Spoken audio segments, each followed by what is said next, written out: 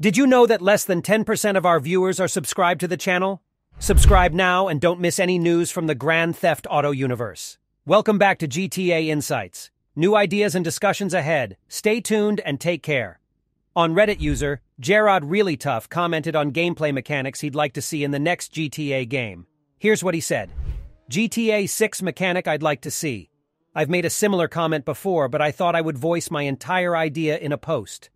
I think it would be cool if every vehicle actually had working exterior and interior parts, and all NPC cars, parked or being used, might have all new parts running nice and well, or maybe a few internal parts that are more worn and torn, like a belt about to snap, etc.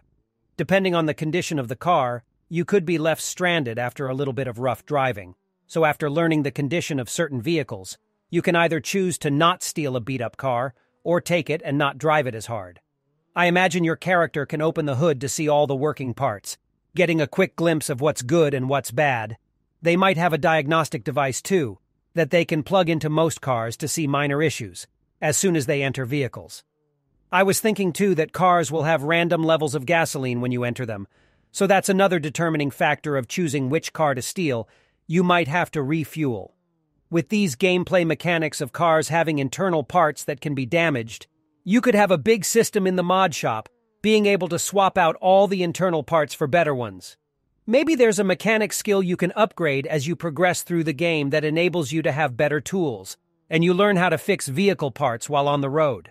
I think this gameplay mechanic would be fun because it would make the cars you steal feel expendable. Just trying to get to where you're going quickly with a beat up car, that you're steadily crashing and fucking up even more. Then on the other hand, You've got your own cars that you have to take care of.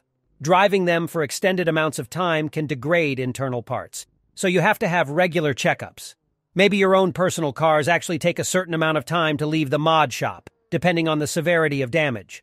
Like your car gets blown up and you get it towed to a mod shop, it takes three to five in game days to get completely fixed.